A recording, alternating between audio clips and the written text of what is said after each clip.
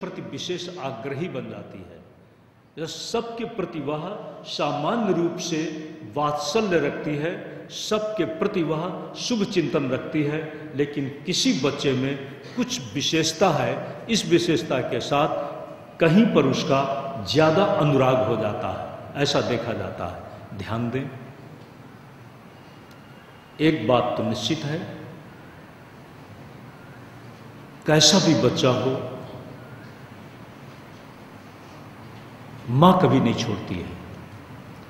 माँ उसको अच्छा देखना चाहती है। अच्छा देखने के लिए वह कभी कभी अनुष्ठान भी कराती है। कभी कभी भगवान के सामने खड़ा होकर प्रार्थना भी करती है। सब तरह से अपने बच्चे को सुखी और समृद्ध देखने की लालसा रखती है। आज हम श्रीमद देवी भागवत की कथा में प्रवेश करने से पहले इस सत्य को समझ सकें। हमारी जीवन की जरूरतें, जीवन में जरूरतों के साथ चलते हुए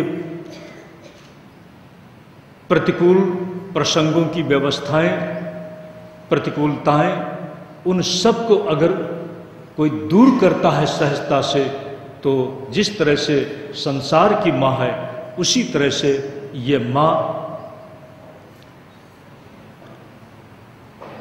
आज भी और आने वाले कल के संतानों के लिए भी अपने आप में शुभ है। दुर्गा सप्तशती में एक बहुत फल की चर्चा हुई। श्रुतम हरति पापानी, तथा रोग्यम प्रयक्षति जो दुर्गा सप्तशती के पाठ को खुद कर ले तो बड़ी अच्छी बात है। अगर सुनता है तो भी कहा उसको आरोग्य मिल जाता है।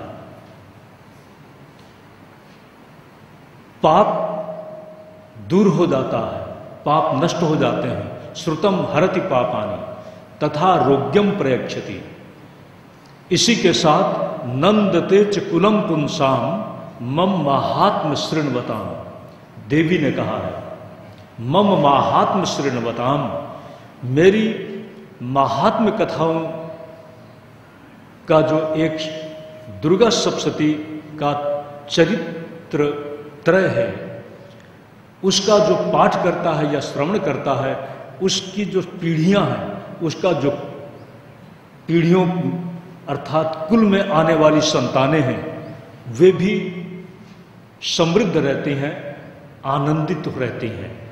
ऐसी उस माता की जो महिमामयी कृपा है, उस कृपा को आत्मसात करने के लिए, पाने के लिए हम अपने आप को श्रद्धा से सदनिष्ठा से और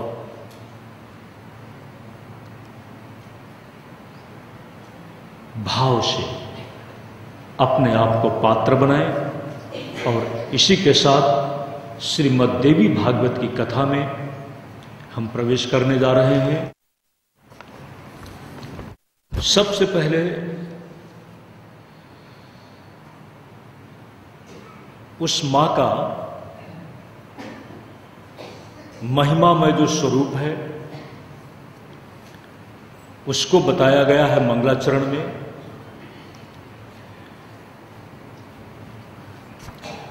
सृष्टौ या सर्गरूपा जगदवन विधो, पालनीया चरोद्री संहारे चापि यस्या जगदिदमखिलं क्रीडनं या पराख्या।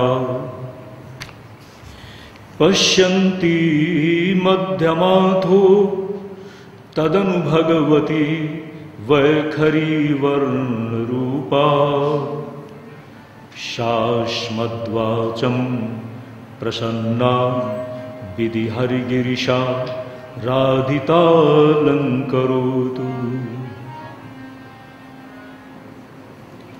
इस संसार की उत्पत्ति में जो स्वयं कारण रूपा है,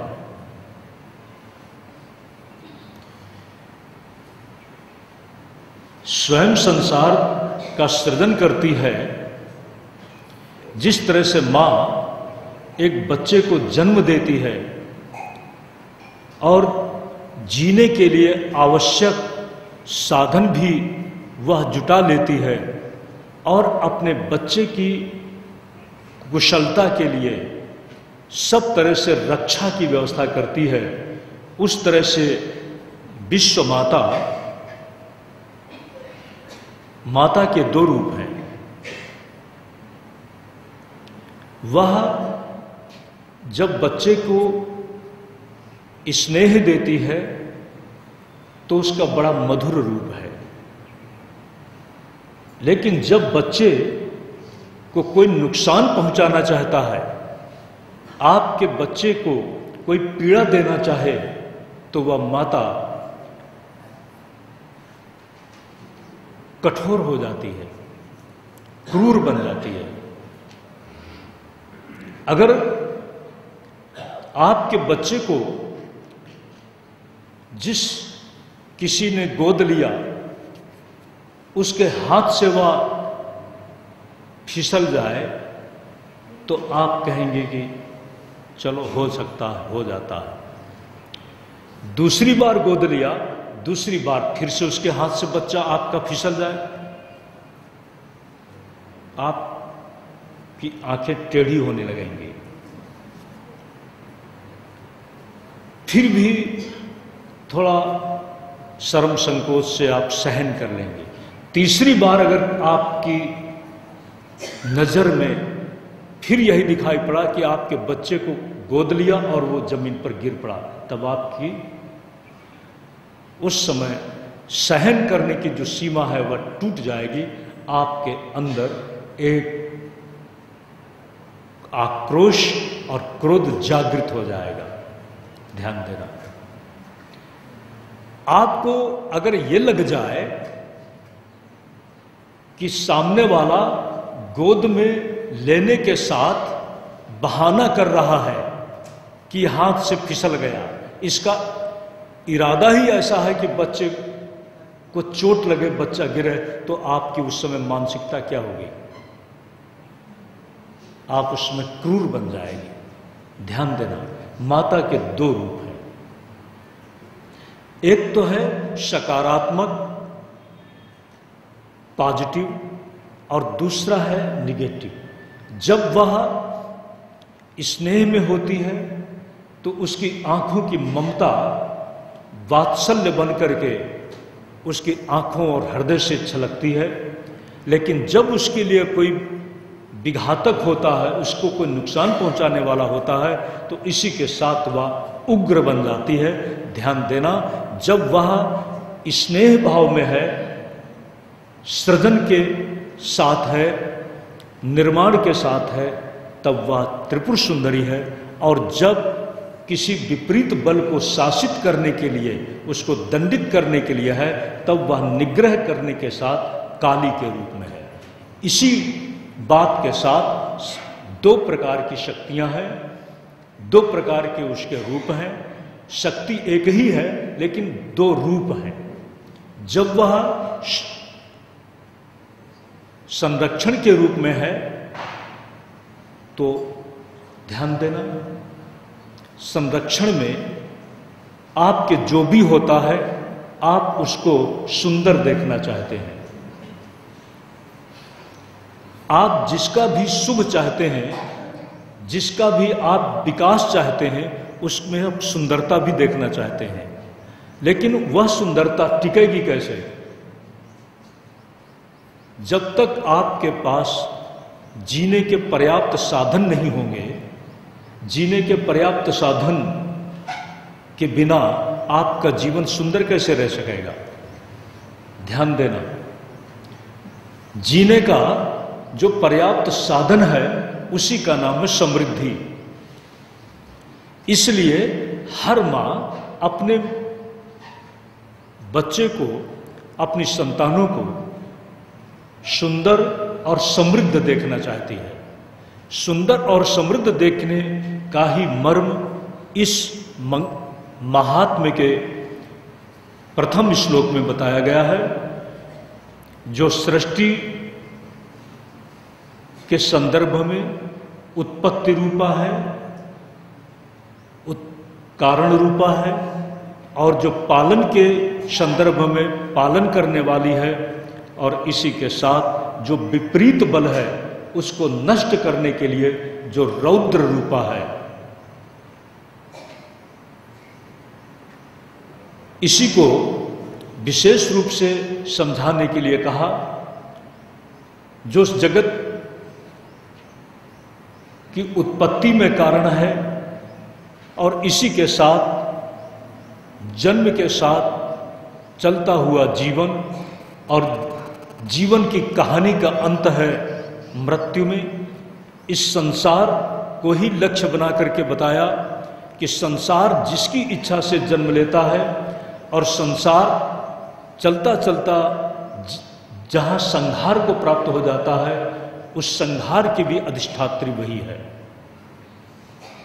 इस तरह से ये संसार उसकी ही इच्छा से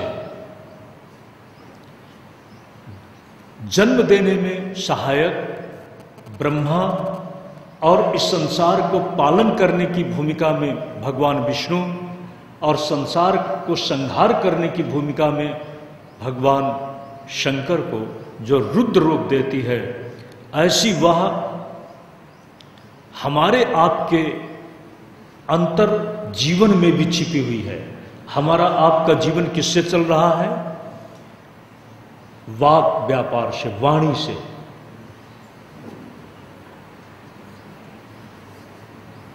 वाणी। आप हम सब बोलने के साथ ही तो चल रहे हैं। आपसे पूछा जाए कहाँ जा रहे हो? तो कुछ न कुछ गंतव्य तो होगा। और आपसे पूछा जाए कि किस लिए जा रहे हो? तो आप कहेंगे, ये काम है। किसी काम को पूरा करने के लिए आप कहीं पर जा रहे हैं। ध्यान देना। तो आपको भाषा का प्रयोग करना पड़ेगा कि नहीं करना पड़ेगा? अगर आप ऐसा भी देख सकते हैं, एक गूँगा व्यक्ति जो बोल नहीं पाता है, वह भी कहीं जाता है तो इशारे से बात करता है। इशारे से बात करता तो है, लेकिन वह आपकी बात को सुनता है। ध्यान देना, सुनने के साथ वह शब्द के पीछे कोई ना कोई अर्थ है। शब्द सुनने के साथ वह शब्द के अर्थ का अनुसंधान करता है, लेकिन बोल नहीं पाता तो इशारों से अपनी बात को समझाता है। ध्यान दें, अपनी बात को समझाता है। आप, हम सब जीवन में अपनी अपनी बातों के ही साथ ही तो चल रहे हैं। अपनी अपनी बातों के साथ चल रहे हैं। इन्हीं बातों को यहाँ पर वैखरी मध्यमा, पश्यंती और परा, चार वाणी के रूप में जो हमारे आपके अंतर जीवन में समाहित होकर के आप सबको चला रही है, ऐसी उस महाशक्ति को हम नमन करते हैं और उस महाशक्ति के साथ ही एक बात यहाँ और बताने जा रहे हैं।